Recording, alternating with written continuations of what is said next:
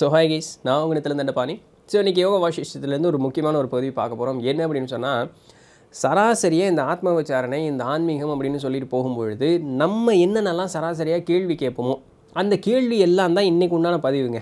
சிகித்வஜன் அப்படின்னு சொல்லக்கூடிய அந்த ராஜாக்கும் கும்பன் அப்படின்னு சொல்லக்கூடியவர்களுக்கும் நடுவில் இருக்கக்கூடிய அந்த ஒரு கான்வர்சேஷன் தான் வந்து தொடர்ந்து ஒரு மூணு நாலு வீடியோவாக பார்த்துட்டே வந்துட்டுருக்கோம் ஸோ இன்றைக்கு உண்டான வீடியோவில் நம்ம சராசரியாக என்னென்னலாம் கேள்வி கேட்குறோமோ அதே கேள்விகளை வந்து ஒரு குழப்பமான ஒரு மனநிலையிலிருந்து அந்த சிகித்வஜன் ராஜா வந்து கேட்குறார்.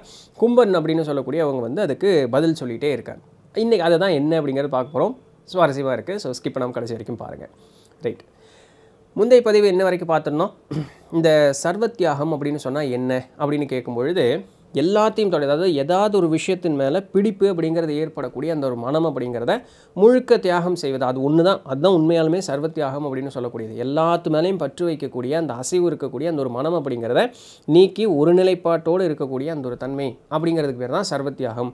அப்போ இது எப்படி அடையுது அப்படின்னு கேட்கும்பொழுது நான் யாருன்னு சொல்லக்கூடிய அந்த ஆத்ம விசாரணை செல்ஃப் என்கொயரி அப்படிங்கிறத இதற்குண்டான ஒரே வழி அப்படின்னு கும்பன் சொல்லவும் இது வரைக்கும் போன பதிவில் பார்த்துருந்தோம். அந்த ராஜா அதுக்கு என்ன பதில் சொல்கிறாரு அப்படின்னு சொன்னால் நீங்கள் சொல்லக்கூடிய இந்த விசாரணையெல்லாம் நான் காலங்காலமாக செஞ்சுருக்கேன். நான் நிறைய தடவை செஞ்சுருக்கேன். என் கண்ணில் புலப்படக்கூடிய விஷயங்களாகட்டும் என்னுடைய உடலாகட்டும் என்னுடைய மனமாகட்டும் இது எதுவுமே நான் இல்லை அப்படிங்கிறது எனக்கு நல்லாவே தெரியும். இந்த அண்ட சராசரமே முழுக்க முழுக்க ஒரு ஜடப்பொருள். அதனால் எந்த விதமான ஒரு பயனும் இல்லை. அது என்னால் உருவாகவும் இல்லைங்கிறது எல்லாமே எனக்கு தெரியும்.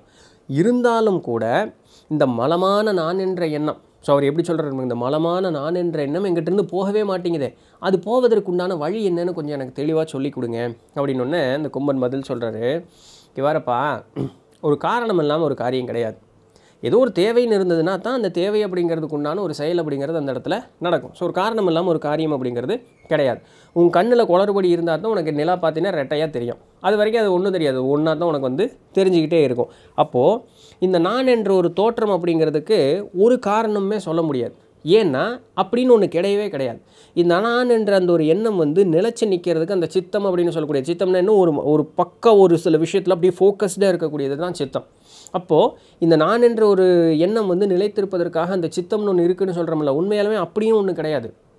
உனக்கு ஏதாவது ஒரு தேவை அப்படின்னு இருக்கும் பொழுது அந்த தேவையை நோக்கி நீ போய்கிட்டு இருக்கியே தவிர அதற்கு வந்து இந்த நான் என்ற ஒரு தன்மை இருக்கிறதாகவும் அந்த ஒரு நோக்கம் அப்படின்னு சொல்லக்கூடிய அந்த சித்தம் அதெல்லாம் இருக்கிறதுனால தான் நான் வந்து இப்படி பண்ணிகிட்டு இருக்கேன் அப்படிங்கிறது ஒன்று கிடையவே கிடையாது. அப்போ ஏதுமே இல்லாத ஒரு தன்மை ஒன்று இருக்குதுன்னு நீ எப்படி சொல்லுவேன் அப்போது இந்த இடத்துல உன்னை எது வே வேலை செய்ய வைக்குது அப்படின்னு கேட்கும் பொழுது உன்னுடைய தேவைகள் உன்னுடைய மனோமாறுதல்கள் இது மேலே இருக்கக்கூடிய பற்று அப்படின்னு சொல்லக்கூடிய அந்த ஒரு ஆசை அஞ்ஞானம் அப்படின்னு சொல்லக்கூடியது உன்னை வந்து இந்த இடத்துல விரட்டிகிட்டே இருக்குது இதை கொஞ்சம் எக்ஸ்பிளைன் பண்ணுறதுக்காக நீ போகிற அப்படின்னு சொல்கிறதுக்காக அந்த நான் சொல்லக்கூடியது அந்த ஃபோக்கஸுக்கு அந்த சித்தம்னு ஒரு பேர் வச்சதே தவிர அப்படின்னு நீ ஒன்று இருக்குன்னு ஒன்று என்னவே வேண்டாம். உனக்கு தேவை இருக்குது நீ போகிற அவ்வளோதான் வேலை முடிஞ்சுது. காரணம் இல்லாமல் ஒரு காரியம் இல்லை.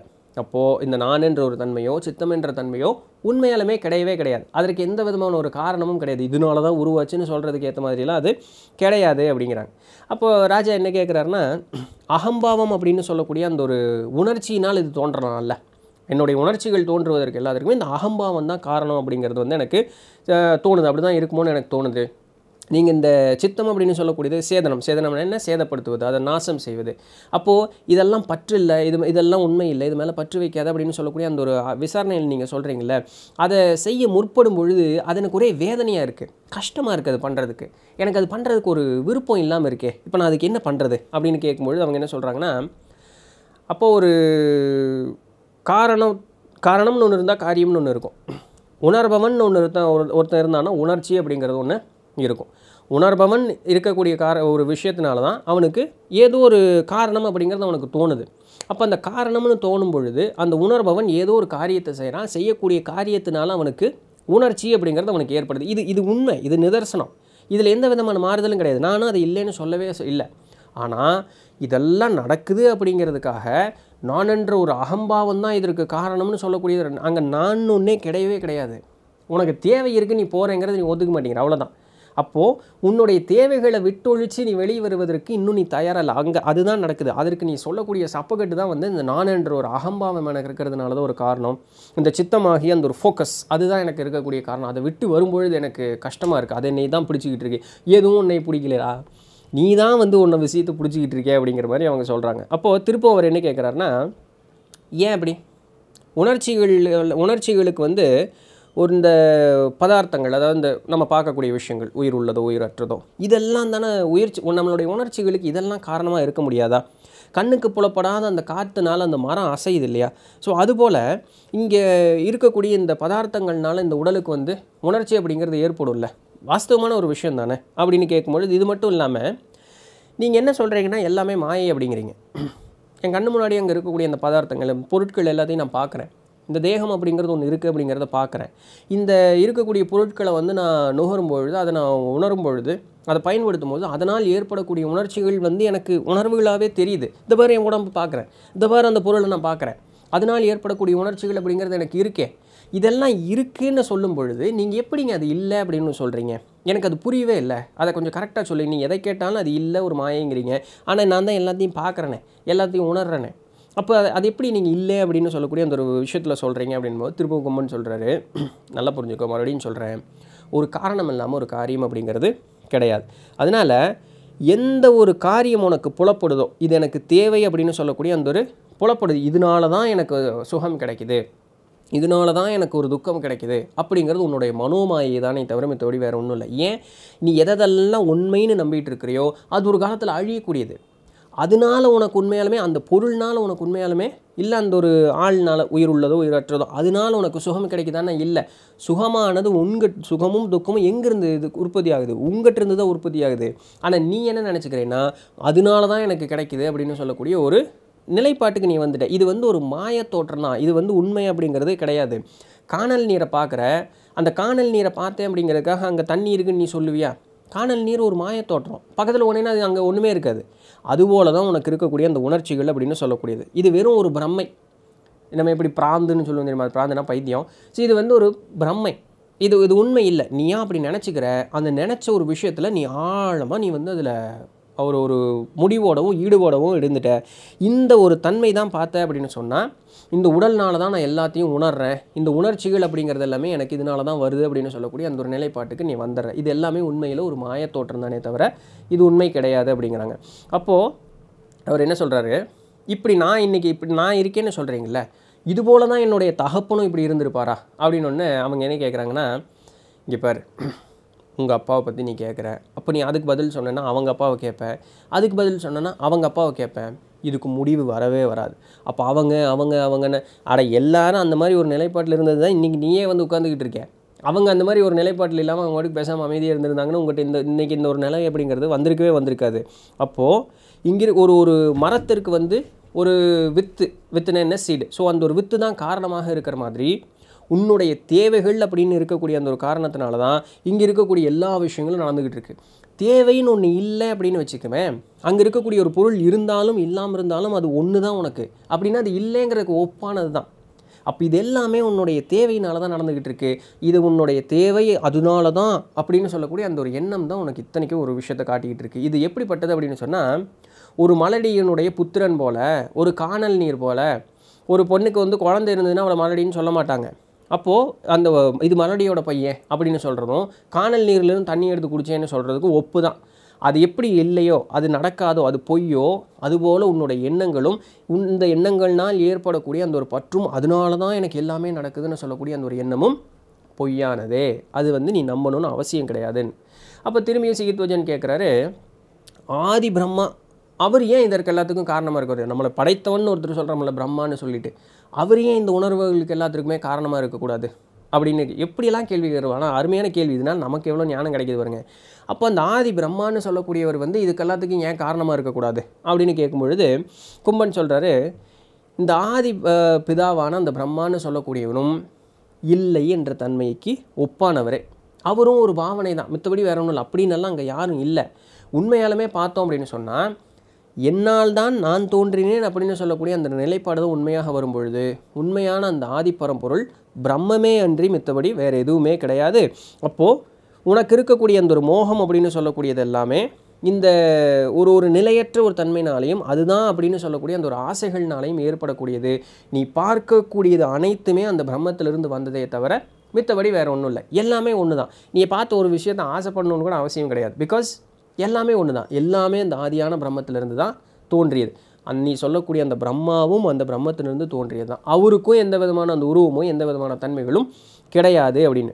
அப்போ மறுபடியும் சிகித்வஜன் கேட்குறார் ஆதியான படைப்பிற்குண்டான அந்த பிரம்மா முதற்கொண்டு இந்த சாதாரண சொல்லக்கூடிய ஒரு துரும்பு வரைக்கும் எல்லாமே பிரம்மம் தான் அப்படின்னு சொல்லும் பொழுது அதனால் ஏன் துக்கம் ஏற்படுகிறது? அப்படின்னு சொல்லக்கூடிய ஒரு எவ்வளோ ஒரு புத்திசாலித்தனமான ஒரு கேள்வி. எல்லா எல்லாமே பிரம்மம் தான் தெய்வத்திலிருந்து என்னை படைத்தவன்னு சொல்லக்கூடிய தெய்வத்திலிருந்து இங்கே இருக்கக்கூடிய ஒன்று சிறு துரும்பு வரைக்கும் எல்லாமே பிரம்மந்தாங்கும் பொழுது அதனால் எனக்கு ஏன் துன்பம் ஏற்படுது? அப்படின்னு ஒரு கேள்வி கேட்கும் பொழுது அவங்க ஒரு ரொம்ப அழகான ஒரு இது. உன்னுடைய பாவனைகளே காரணம். உள்ள உன்னுடைய உன்னுடைய கண்ணோட்டம் தான். வேறு எதற்குமே வேறு எதுவுமே அதற்கு வந்து காரணம் கிடையாது. உன்னுடைய துக்கங்களுக்கு உன்னுடைய பாவனைகள் உன்னுடைய செயல்கள் உன்னுடைய கண்ணோட்டம் இது மட்டும்தான் அதற்கு உண்டான ஒரே காரணம். ஒரு நீரில் வந்து குளிர்ச்சி அப்படிங்கிறது அதிகமாச்சு அப்படின்னு சொன்னால் அது உடனே அந்த ஐஸ் கட்டியாக மாறிடுது. இந்த ஒரு மாறுபாடான ஒரு தன்மை எதனால் நடக்குது? அங்கே அந்த குளிர் அப்படின்னு சொல்லக்கூடிய அந்த ஒரு தன்மை அந்த இடத்துல வந்ததுனால இவ்வளோ நேரம் திரவமாக இருந்த அந்த நீர் வந்து ஒரு ஐஸ் மாதிரி அந்த பனிக்கட்டி மாதிரி அது வந்து மாறிடுது. இதுபோல தான் இந்தந்த விஷயங்கள்னால தான் எனக்கு சோமி கிடைக்கிது. இந்தந்த விஷயங்கள்னால தான் எனக்கு துக்கம் ஏற்படுதுன்னு சொல்லக்கூடிய அந்த ஒரு நிலைப்பாடு உனக்கு நிலைக்க நிலைக்க நிலைக்க அஞ்ஞானம் அப்படிங்கிறது உங்கள்கிட்ட கூடிகிட்டே வந்துக்கிட்டே இருக்குது இதனால தான் எனக்கு சுகம் இல்லை. இதெல்லாம் நிலையற்றது.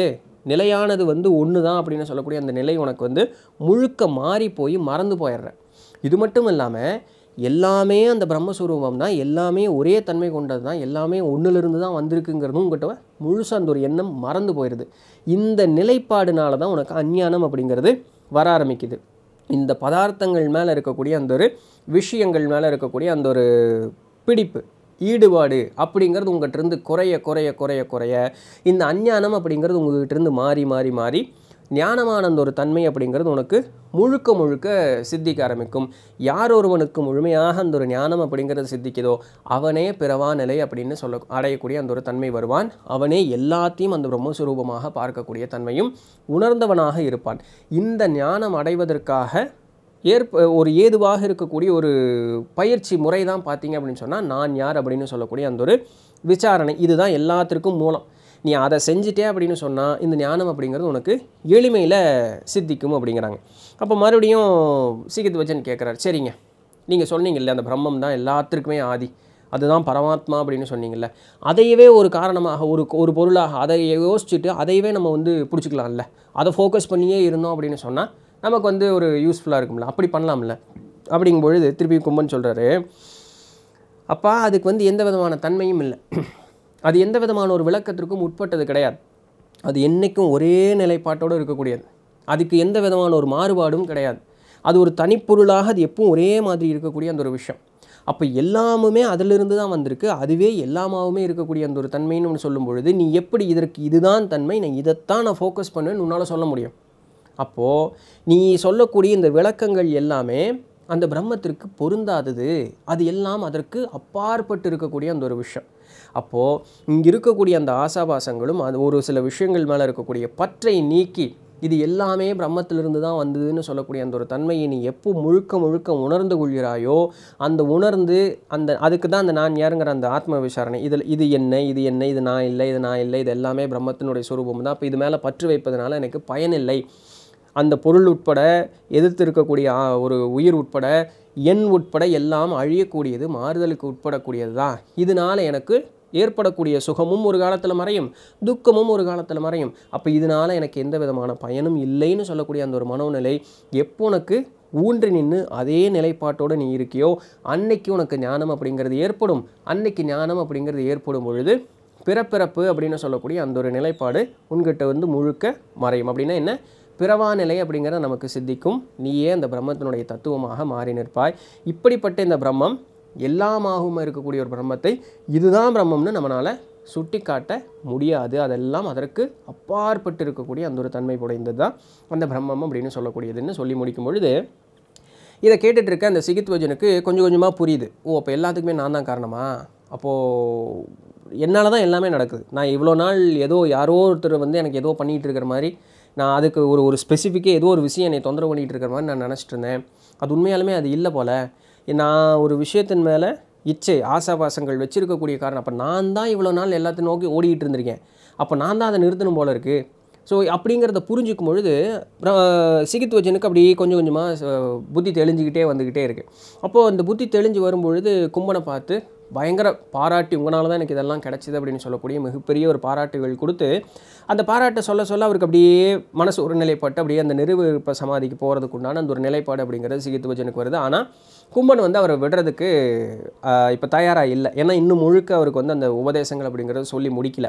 அந்த ஒரு காரணத்தினால அந்த நிகர்ப நிறுவகற்ப சமாதி போகிறதுக்கு முன்னாடியே அவரை திருப்பியும் போகாமல் தடுப்பதற்கு ஏற்றாற் போல் அவர் திருப்பியும் பேச ஆரம்பிக்கிறேன். நான் இன்னும் ஒரு சில விஷயங்கள் பற்றி இந்த ஆன்மா பற்றி இருக்கக்கூடிய அந்த விஷயங்கள் எல்லாத்தையுமே சொல்கிறேன் கவனமாக கேளு அப்படின்னு சொல்லிட்டு சொல்ல ஆரம்பிக்கிறார். அப்படி என்ன சொன்னார் அப்படின்னு சொல்லிட்டு அடுத்த பதிவில் பார்ப்போம். ஸோ இதுதான் இன்றைக்கு உண்டான வீடியோ பிடிச்சிருந்திருக்கும் இன்ஃபர்மேட்டிவாக இருந்திருக்கும் அப்படின்னு நம்புகிறேன் நாளை வேறு ஏதாவது ஒரு சுவாரஸ்யமான செயலில் சந்திப்போம். அது வரையும் தொடர்ந்து நிதினங்கள் நான் அவங்க தண்டை பண்ணி. நன்றி. வெற்றிவேல் வெற்றி வேல்